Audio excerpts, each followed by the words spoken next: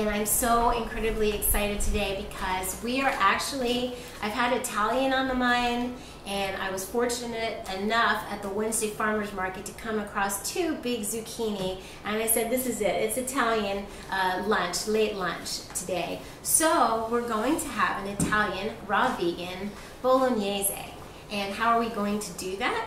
Well, we're going to have our pasta that I spiraled with a Spirooli spiralizer. If you want to know where to get it, go to my website and we have our pasta. I normally don't peel the zucchini, but this time I did because I wanted it to have the light color of the pasta. Has a lot of folate and vitamins and minerals in the zucchini.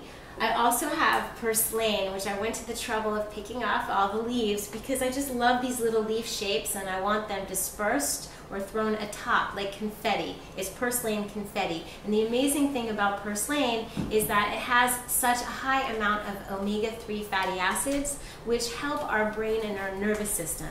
So by all means, go ahead and use the stems in your smoothies and your soups. Very often I will chop up the purslane very fine and just mix it in in a massive healthy salad. But today it's going to be used like confetti.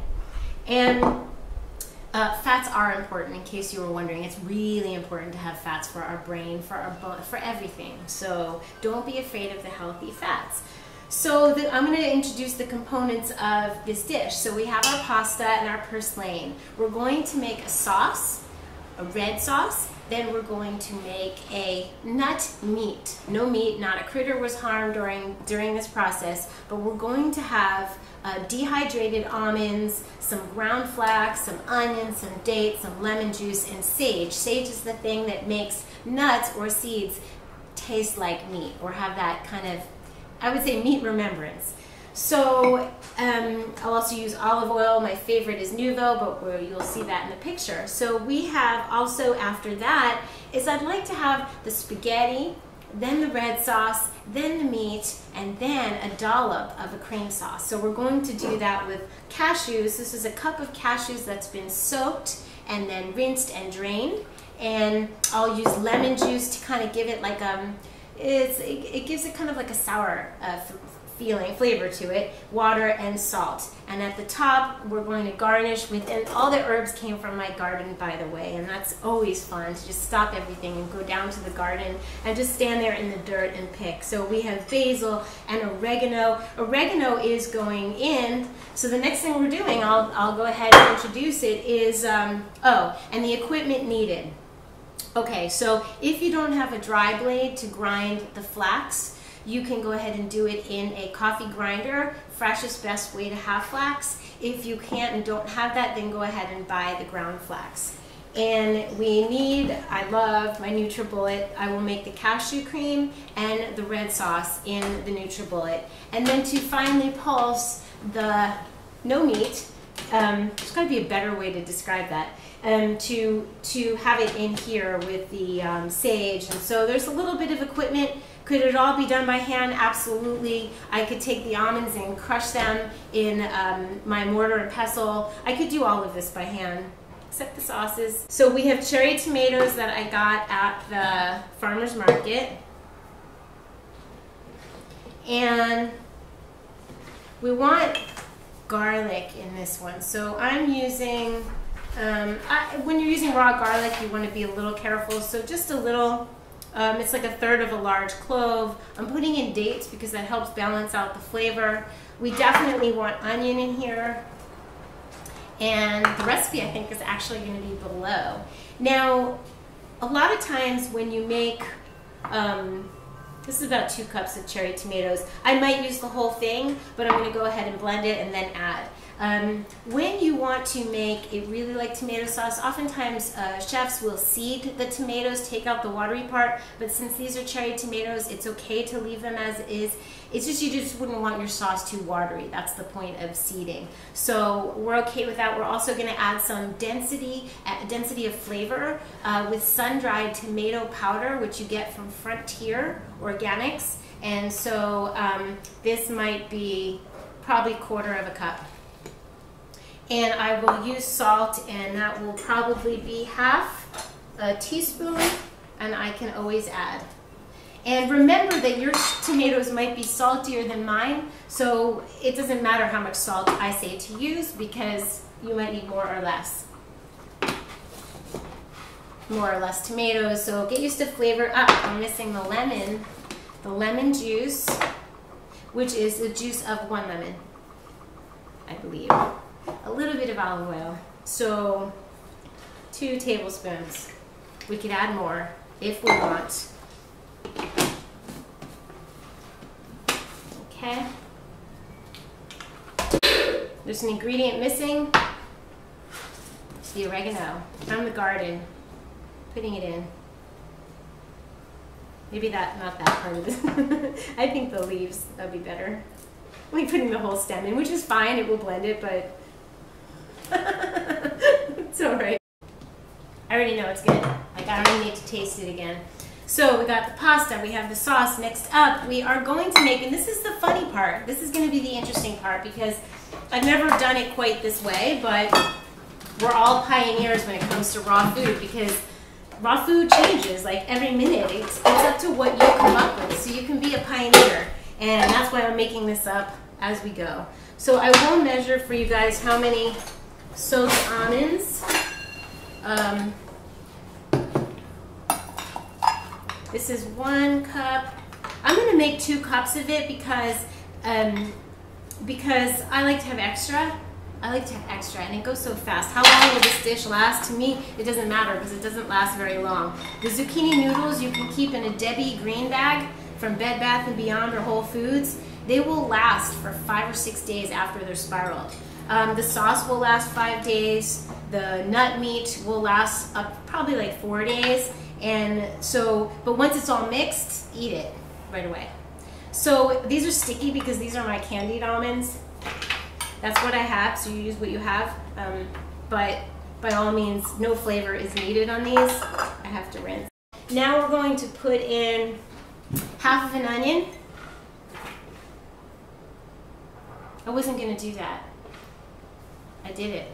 I was gonna leave the onions and fold them in, but they're in. If you're making that, if you're gonna make it, go ahead and put in, grind, pulse the almonds. Taking them out. You know why? I'm gonna take most of them out because you really have to pulse the almonds a lot.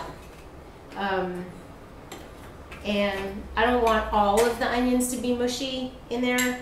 So big deal, I'll take out some of them. And then I'll fold in extra. And therein lies mistake number two. I think I've reached my quota. Okay, so that's fine. And we have a, uh, the juice of one lemon. And we're going to put in one really large medjool date and then I can always add. Um, we were, are going to need a couple teaspoons of salt. And we put the sage in. The sage is going in. The sage is what makes it taste like meat. And that's it. And then we pulse it and we see what we need to add. Black pepper is good too. This is great. It's great. So I don't know if I need all of this flax. This is two cups of brown flax. Um, we're going to have the recipe below because we're going to figure out exactly what worked, so don't despair. So I'm going to just put, this will help it bind, so I'm going to put a half a cup of brown flax and see how that goes. And it may need more, but we'll see. I'm throwing in two tomatoes. I'm shocked and delighted. It's perfect. I just need to taste it. Still shocked and delighted. really happy. Um, wow. I'm going to blend it a little more. And it needs... Lisa's here filming with me. Let's decide what it needs so we get this recipe perfect. It's so nice. This is Lisa. Hi. Hi. So she's the reason you're seeing the food close up and the pictures are getting prettier on Instagram and everything. It's like having help. So we, mm, it's a little sweet. It's good salt. It's good sweet. It might need the acid like um, Oh, lemon. more lemon, yeah. Yes? Mhm. and pepper, black pepper. Mhm. Maybe I'll find it. So that's Lisa, and guess what? We're going to Paris. We are going to Paris to show, to have fun and pictures and videos and raw travels with Dara. And Lisa's going to take the pictures and videotape, and we're going to have so much fun. So I'll be there the 8th through the 15th, but the weekend, the 10th and the 11th, the Saturday and the Sunday. If anybody wants to meet us, start making plans now, and I'll later I will announce exactly where. So exciting. So Lisa, anything you want to say? What about that piece of trivia? Oh my god, that's so important. No, that's so weird. No, no, you come here. No, no, the reason it's so important is because I'm actually making. Are you in camera? I want to make sure you're I in. think so. Okay. Earlier today, she's like, I watched this documentary, and do you know how many gallons of water we use for one hamburger? And I'm like, I would say that on camera if I could remember the numbers. But at this point, I just thought of it. While it's so, why it's so great to make a nut meat, because It's good for the environment. yes. do you remember the? Do you remember Yes, the number? it's 660 gallons of water, and that's crazy per hamburger. per one hamburger. For one hamburger. And I wish I remember the name. of it. You don't remember the Leonardo? DiCaprio's on the cover. He's like. Well, you it. know what? She'll probably think of it later and Yeah. post it below the video. But how cool is it that I thought of that while we're making? Thank you. beef. Thank you. You on so many levels. Yeah. see, when you look at my Instagram, you can see, go scroll all the way down and see how I got better. You definitely need a spatula when you, you have to like mix it. Sometimes it's hard, it gets stuck, so you just kind of mix it up. If it gets too stuck, then you go ahead and add some liquid. And we are adding lemon juice. I'm gonna say half a lemon. So that's one and a half. It's a great texture though. Do you want to try it? I'd love to. Mm. It's great, right? It's perfect. Right. It's I think we put it in a bowl with So that, good. right? Mhm. Okay. Yeah. Come. Stay, Stay, stay. Come. Okay. I'm so happy to be doing this with Lisa. You could probably tell from my mood. I'm up to the cashew cream. Well, Lisa's gonna mix. You can mix that one with this, right? And then I'm gonna go ahead and make the cashews. So we have one cup cashews, and the really cool thing about them is you don't need to soak them if you don't have time. So everything here is really of the moment. If you had to use um, almonds that um, were soaked but not dehydrated, it's okay. Just know that that will be your water content in the nut meat. So I'm going to use, oh, Lisa normally writes the recipe when she's here doing something else. So I'm going to use half. Okay, so we have, so we're out of lemons because I used extra lemons for everything else. So I'm going to use some uh, more lemons. But here's the funny thing is that you can have the best planned video and think you're going to make it in 10 minutes, but it doesn't always happen that way, as you can see. I don't think it's ever happened. No. Okay. But it's so fun, so who cares? It's fun, and we get to do this because no one's yelling at us to not do it. Yeah, exactly. There's no sponsor saying, wait, you went too long, or some executive saying, you can't do that or say that. You can't say that about a hamburger. You know what I mean? Like, that's part of the beauty. well, it's true. So this is one whole lemon, and that's good. So now we have um, the lemon juice, water, and cashews, and we need a couple pinches of salt, but I'd say a quarter teaspoon. You can always add more, and that's how easy it is to make a cashew cream. Wow, that looks good. Wow. looks so good. It Oh my gosh. Kind of. It looks real. Yeah, it's real. Show them. Wait, It's so crazy. I'll take a photo. No, of it. seriously, it's so. It's weird. Mm. This is crazy. I'd say more lemon, shockingly enough. So it's a lemon and a half, and it's perfect. I'm so excited to plate. Um, that means everything's done. The pasta, the red bolognese sauce, and a little just dollop of cream, and then we're gonna put the herbs on top. Some basil, some oregano, little pieces of sage, which I will chop up right now. You want to taste it? It looks so good. I know, it's crazy. That's crazy. It's so good. Okay, so this is how easy. Sometimes you what you want to do actually is you want to cut the pasta in half because it's very long. I usually cut it in quarters. Okay, so we're going to put some pasta here. I don't know anyone that wouldn't want to eat this, really. Uh, it's just going to be so... So we have choices here. We could try it on camera, but then we won't have the proper photograph. So maybe we try one and mm-hmm. photograph the other. Mm-hmm. Okay. So beautiful. You, you could have a Brazil nut parmesan. I have a recipe on the channel for that. Almost doesn't need the cream really, too late now. The basil.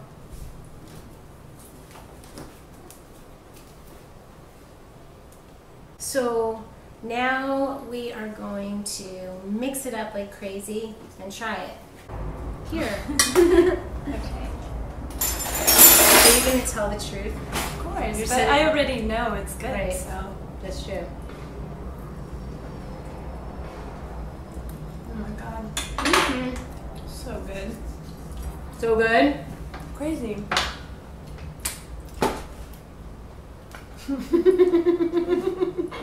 Wow. Well More done. salt. Okay, well done. Get your brains out, everybody. We're going to eat lunch. okay, everybody, we were plating. Lisa was taking photographs. It's gorgeous. It's delicious. And I thought, you know, it needs a Parmesan. So I can quickly take a handful of Brazil nuts, um, a scoop, a very large couple of tablespoons of nutritional yeast, and some garlic powder. So easy to make a little cheesy topping. Oh, it's probably a quarter of a teaspoon, half a teaspoon of garlic, and I'll do a couple, two, three pinches of salt. You can always add more. And in my little friend, my mini Cuisinart food prep, I will pulse. Ideally, we are using, I'm using another handful of Brazil nuts. Ideally, we're using pine nuts. I don't have any. I only want organic pine nuts, not the ones from China that we don't know are organic. There's a more traditional way of making Parmesan uh, cheese uh, that I learned at Living Light Institute that you um, do pine nuts and you make it liquidy, then you spread it out on a Teflex and it dries and then it's in Parmesan slices and it's fantastic. But this is going to give us our quick and easy cheesy topping. Okay, bon appetit.